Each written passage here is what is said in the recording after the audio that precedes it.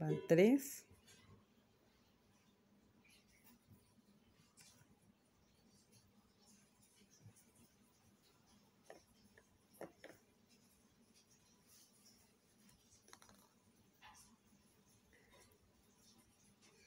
La siguiente capa sería entonces, si estamos trabajando números impares, la siguiente capa, si esta es ya de 5 pétalos, la siguiente sería de 7. Y si vamos a poner una siguiente capa, sería de 9. Y así sucesivamente, hasta que leemos el tamaño de nuestra rosa, el tamaño que nosotros querramos o el tamaño que, que nos pidan las personas para para el buque tocado o el arreglito que tengamos que hacer. Entonces nos queda el último aquí.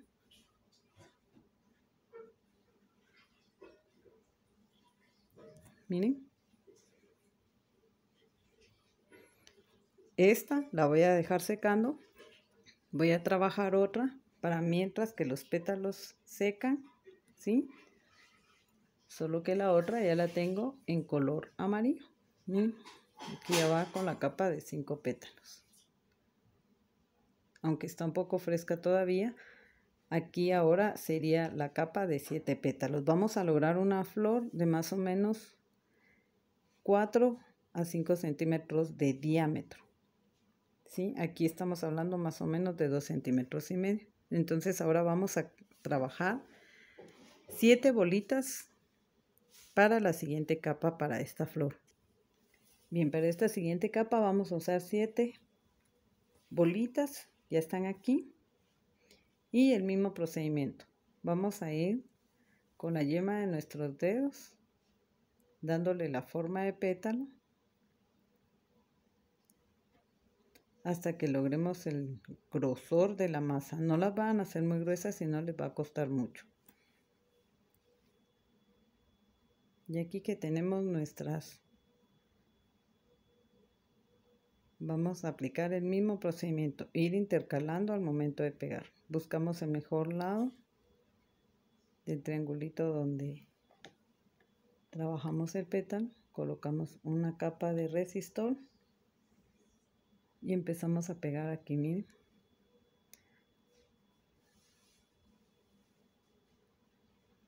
Ahí se recuerda. El secreto, el secreto del pétalo, perdón, es este piquetito que vamos a hacer ahí. ¿miren? Eso es lo que le va a dar la naturalidad a la rosa. Si ustedes no hacen ese piquetito, créanme lo que las flores les van a quedar. Sí, bonitas, pero no con la naturalidad que andamos buscando de que realmente es una flor.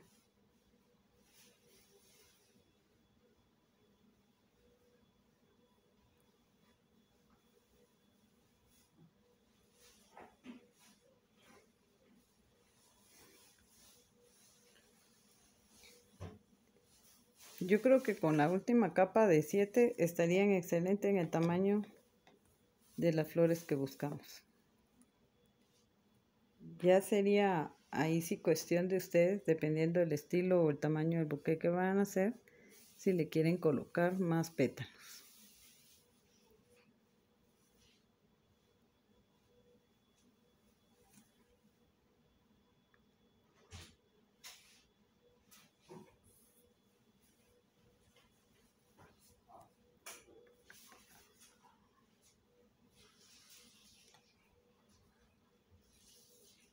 No se vayan a perder de dónde es que van colocando los pétalos, si no, se les va a olvidar. La idea es irle dando la forma a la rosa.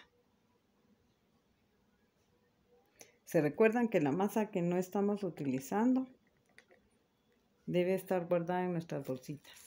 Si no, se les va a endurecer.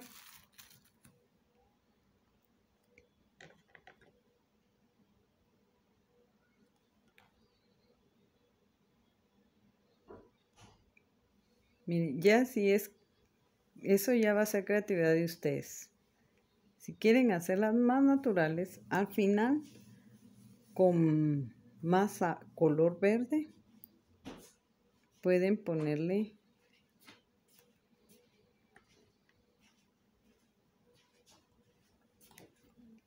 en la parte de atrás para hacerlas más naturales si ustedes quieren. Y ponemos el último.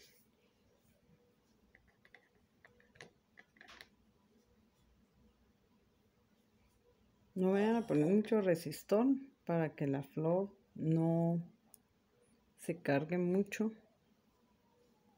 en cuanto al tamaño.